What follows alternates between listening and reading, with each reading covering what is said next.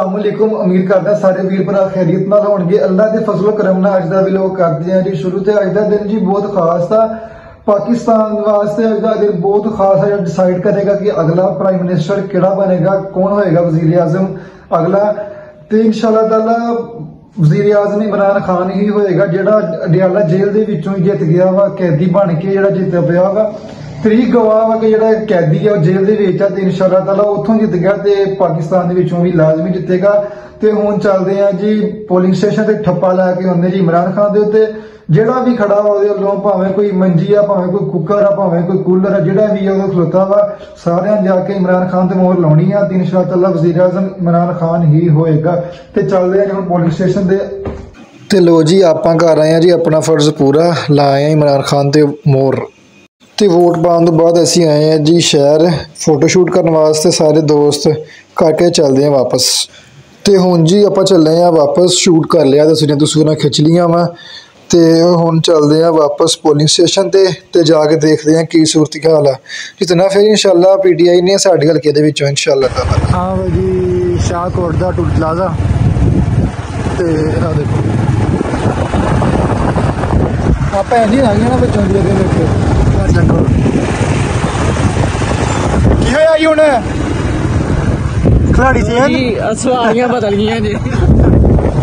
ਤੁਹਾਨੂੰ ਪਤਾ ਠੰਡ ਬਹੁਤ ਜ਼ਿਆਦਾ ਵਾ ਤੇ ਚੋਂਦਾ ਕੌਣ ਆ? ਇਹਨੂੰ ਮੈਂ ਕਿਹਾ ਸੀ ਚਲਾਣਾ ਚਲਾਈ ਨਹੀਂ ਹੁੰਦੇ। ਆਇਆ ਕਿ ਨਹੀਂ?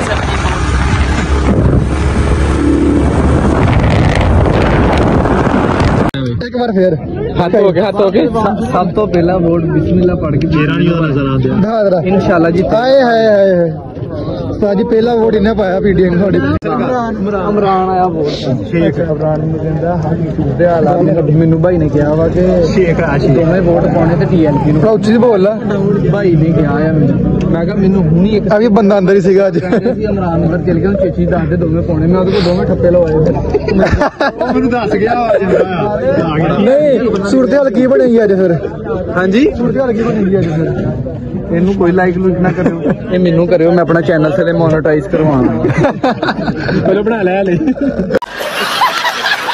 ਲੋ ਜੀ ਕਿਹਨੂੰ ਵੋਟ ਪਾ ਕੇ ਆਏ ਨੇ ਬਿਸਮਿਲ੍ਲਾਹਿਰਰਹਿਮਾਨਿਰਰਹੀਮ ਇਯਾਕ ਨਾਬੁਦੂ ਵਾ ਇਯਾਕ ਨਸਤਾਈਨ ਚਲੋ ਜੀ बिस्मिल्लाहिर्रहमानिर्रहीम इय्याका नअबुदु व इय्याका नस्तईन हमेशा जूफ शान है तेरे मुकद्दर का सितारा मेरी आप से बढ़कर तेरी ताप से ज्यादा ਆਹ ऐसे रहा करो कि लोग करें आरजू ऐसे चलन चलोगे जमाना मिसाल दे क्या मैं अल्हम्दुलिल्लाह सुमा अल्हम्दुलिल्लाह हल्का एन 111 और पीपी 133 शाहकोट डिस्ट्रिक्ट ननकाना।